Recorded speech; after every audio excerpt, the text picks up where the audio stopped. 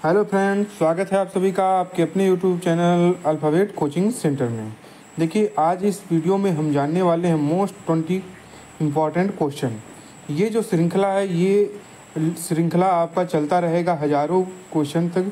हमारा जो टारगेट है टेन थाउज़ेंड क्वेश्चन लेकर के चलेंगे, यानी दस हज़ार मोस्ट इंपॉर्टेंट क्वेश्चन आपके लिए पुटअप करेंगे और उसी क्वेश्चन को हम आप पुटअप करेंगे, जो कि आपके करंट वो क्या कहते हैं, आपका जो प्रीवियस ईयर से परीक्षाओं में आया हुआ रहेगा। तो चलिए बिना समय गंवाए हुए हम चलते हैं अपने पहले क्वेश्चन को। देखिए, पहला क्वेश्चन क्या है?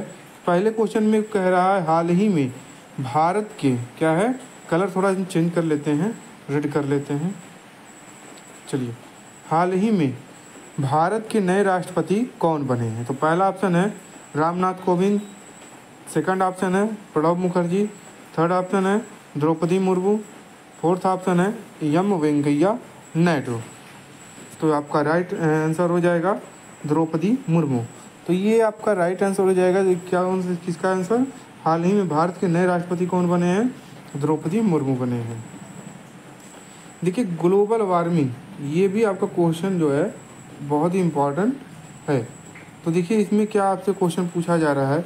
ग्लोबल वार्मिंग और जलवायु परिवर्तन के प्रभाव को कम करने के लिए भारत ने कौन सी पहल शुरू की है?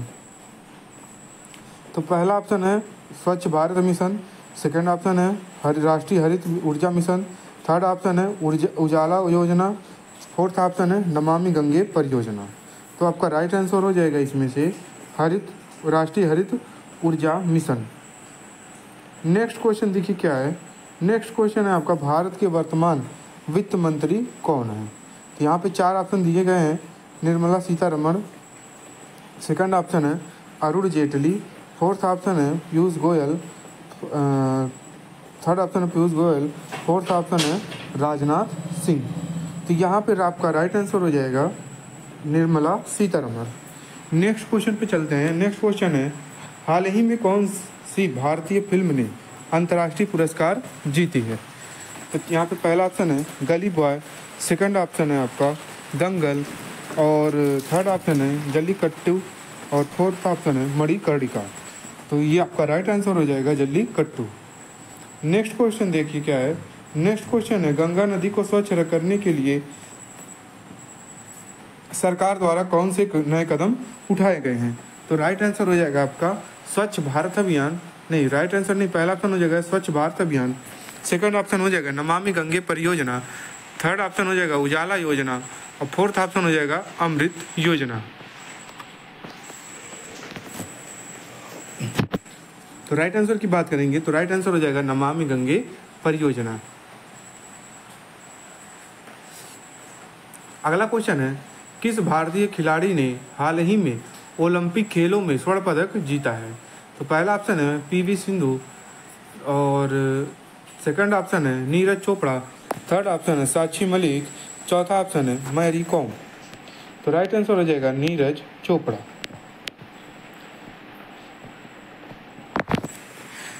Next option question है, सातवें नंबर का क्वेश्चन भारत के किस राज्य ने हाल ही में नई शिक्षा नीति को लागू किया है? पहला ऑप्शन है कर्नाटक। सेकंड ऑप्शन है महाराष्ट्र थर्ड ऑप्शन है उत्तर प्रदेश चौथा ऑप्शन है गुजरात तो राइट आंसर हो जाएगा कर्नाटक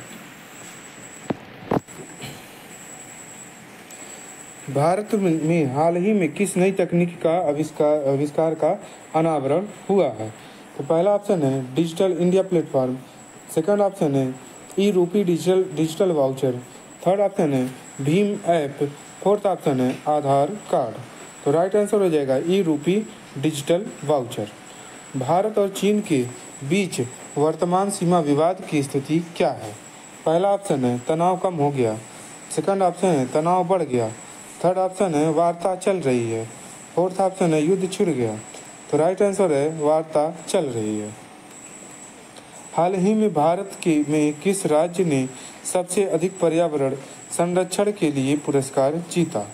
फ़र्स्ट ऑप्शन है केरल, सेकंड ऑप्शन है तमिलनाडु, थर्ड ऑप्शन है सिक्किम और आपका फोर्थ ऑप्शन है हिमाचल प्रदेश। तो आपका राइट आंसर हो जाएगा सिक्किम। सिक्किम की राजधानी होती है गंगटोक। भारत का नया संसद भवन किस वर्ष उद्घाटन उद्घाटन हुआ है? तो यहाँ पर देखिए जो नया संसद भवन है, आप सभी को पता है, ये हाल ही में इसका उद्घाटन हुआ है। और ये उद्घाटन जो है हुआ तो है और किस वर्ष हुआ है? ये आपका 2023 में हुआ है। और ये जो संसद है, ये पहले वाले संसद से बहुत ही अलग है। इसमें तमाम सारी खूबियाँ हैं जो कि पहले के समय में नहीं थी। जो पहले का संसद था, वो अंग्रेज़ के समय में बना हुआ था। लेकिन आज का संसद जो है, वो आज़ाद भारत के तहत बना हुआ है। तो उसमें जो भी आपके राष्ट्रीय पक्षी हैं, राष्ट्रीय मोर हैं राष्ट्रीय पक्षी पशु हैं। इस प्रकार से जो भी कलाकृतियाँ बनी हैं, उसमें कलाकृतियाँ आपको देखने को मिली है। तो आपका अगला क्वेश्चन हो जाएगा। हाल ही में किस देश के साथ भारत ने व्यापार समझौता किया है? तो आपका राइट आंसर हो जाएगा। पहला ऑप्शन हो जाएगा अमेरिका, दूसरा ऑप्शन हो जाएगा चीन, चौथा ऑप्शन हो जाएगा ऑस्ट्रेलिया, तीसरा ऑप्शन हो जाएगा ऑस्ट्रेलिया, चौथा ऑप्शन हो जाएगा रूस। तो आपका राइट ऑप्शन हो जाएगा ऑस्ट्रेलिया। ऑस्ट्रेलिया की राजधानी की बात करें तो ऑस्ट्रेलिया की राजधानी होती है कैनबरा। नेक्स्ट क्वेश्चन है, तिरानवे नंबर का क्वेश्चन। भारत के किस शहर में जी ट्वेंटी सम्मेलन 2023 आयोजन हुआ था?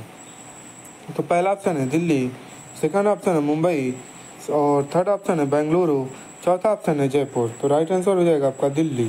तो ये दिल्ली जो है, भारत की राजधानी है। यहाँ पर देखिए दिल्ली में अधिकतर ऑफ़िस जो भी सरकारी ऑफिसें हैं, यहीं पर आपका है। हाल ही में भारत में किसे भारत रत्न से सम्मानित किया गया है?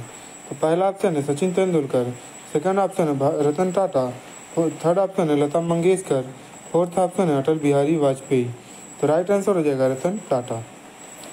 पंद्रहवें नंबर का क्वेश्चन देखिए क्या है। हाल ही में भारत के नए मुख्य न्यायाधीश कौन बने हैं? पहला ऑप्शन है Sharad Arvind Bobde, B second option है N V Ramana third option है रंजन गोगोई फोर्थ ऑप्शन है डी वाई चंद्रचूड़। तो राइट आंसर हो जाएगा आपका डी वाई चंद्रचूड़। भारत ने, अब आपसे जब यहाँ पर मुख्य न्यायाधीश की बात किया गया है तो यहाँ पर ये बता दीजिए आपका कि जो आपका न्यायाधीश का अनुच्छेद जो है, किस अनुच्छेद के तहत आता है। ये अनुच्छेद 124 के अंतर्गत आता है। भारत ने किस देश के साथ हाल ही में सैन्य अभ्यास सहयोग 2023 आयोजित किया है? पहला ऑप्शन है रूस सेकंड ऑप्शन है फ्रांस थर्ड ऑप्शन है जाप, अमेरिका फोर्थ ऑप्शन है जापान। तो राइट आंसर हो जाएगा रूस। रूस की राजधानी होती है मास्को, और यहाँ के प्रेसिडेंट राष्ट्रपति जो हैं तो राष्ट्रपति यहाँ के हैं, व्लादिमिर पुतिन।